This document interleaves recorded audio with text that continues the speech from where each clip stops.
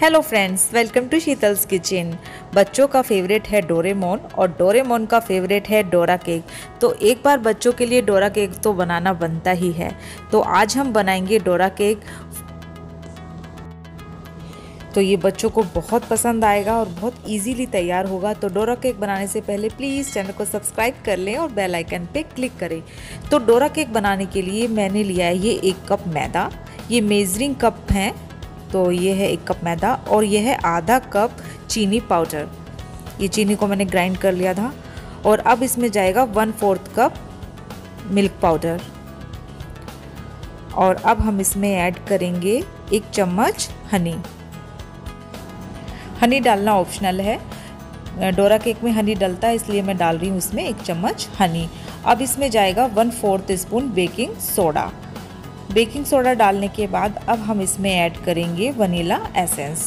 Vanilla essence से जो इसका टेस्ट है वो बहुत अच्छा आता है तो अब हम इसमें ऐड करेंगे एक चम्मच वनीला एसेंस।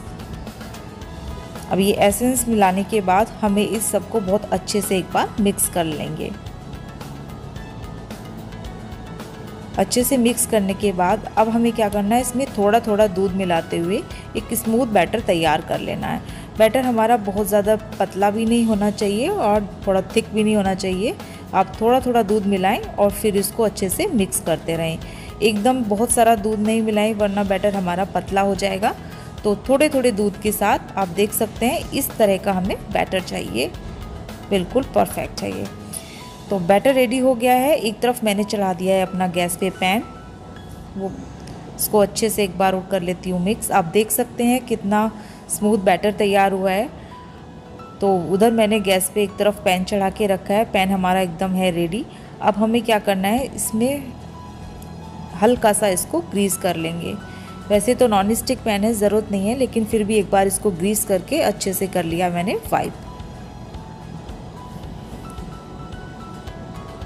तो इसको अच्छे से वाइप करने के बाद यहाँ पे सबसे इम्पोर्टेंट चीज़ है, अब हमने लिया है वन फोर्थ कप अपना बैटर और इसको हमें एक ही जगह सारे बैटर को गिराना है और बिना इसमें कोई भी स्पून नहीं टच करनी है, इसको सिर्फ़ एक ही जगह बीच में हमें सेंटर में गिराना है पूरा बैटर वो अपने आप में ही फैल जाएगा और पूरे जितने भी हमारे डोरा केक तैयार होंगे, वो सेम साइज़ के तैयार होंगे. तो बैटर को किसी भी स्पून की हेल्प से हमें टच नहीं करना है, सिर्फ़ गिराना है. अब इसको गिराने के बाद हमें इसको एक बार कवर कर देंगे और ये कुछ ही सेकंड में रेडी हो जाएगा। आप देख सकते हैं हल्का हल्का सा ऊपर बबल्स आ रहा है तो डोरा केक तैयार हो रहा है। अब इसको हम पलट देंगे और हल्का सा दूसरी साइड से भी इसको सीखने के लिए, कुछ सेकंड के लिए छोड़ देंगे। ये देखिए, एकदम परफेक्ट डोरा केक रेडी हुआ है।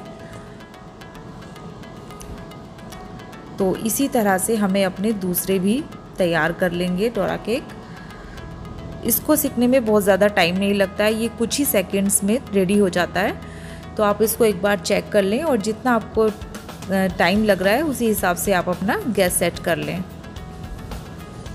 तो ये डोरा केक बिल्कुल रेडी हो गया है। मैं इसको एक बार उतार लेती हूँ और आपको दूसरी साइड से भी दिखाती हूँ इस तरह से। और ये बहुत फ्लफ़ी तैयार हुआ है। तो इसी तरह से सेम हमें दू, अपना दूसरा बैट डाल लेते हैं बैटर इसको भी सेम एक ही जगह हमें सारा बैटर डालना है पहले की तरह और इसको बिल्कुल टच नहीं करना है किसी भी स्पून से। ये अपने आप ही सेम साइज़ ले लेंगे। तो हमें सेम साइज़ के ही सारे डोरा केक चाहिए इसलिए हमें इसको टच नहीं करना है। ये भी एकदम ऐसे ही रेडी हो गया है। तो डोरा केक हो गए हैं हमारे सारे रेडी ये देखिए, डोरा केक्स हमारे सारे रेडी हो गए हैं, एकदम फ्लफ़ी तैयार हुए हैं। अब इसमें क्या करना है? हमें करना है इसमें चॉकलेट सिरप इसमें मैंने ये लिया है चॉकलेट सिरप और इसमें मैं लगा देती हूँ अच्छे से। आप चाहे तो इसमें हर्शीज़ या कुछ भी बच्चों के जो फेवरेट हो, आप वो फ्लेवर भी लगा सकते हैं, लेकिन मैंने ये लगाया इसमें चॉकलेट सिरप अब दूसरी, मेरे द्वारा केक में भी सेम ऐसे ही चॉकलेट सिरप लगा के इसको रेडी कर लेंगे। डोरा केक बहुत इजी तैयार होते हैं और बहुत जल्दी से ही तैयार हो जाते हैं। तो एक बार तो बच्चों के लिए बनाने बनते ही हैं। ये देखिए, इसके ऊपर हम इसको सेट कर लेंगे। और सच में ये बच्चों को बहुत पसंद आते हैं। बच्चे एकदम खुश हो जाएँगे। एक बार आप इस रेसिपी को ट्राई करें, घर में अपने बच्चों को खिलाएँ। तो अगर ये रेसिपी आपको पसंद आए तो प्लीज़ चैनल को लाइक और सब्सक्राइब कर लें।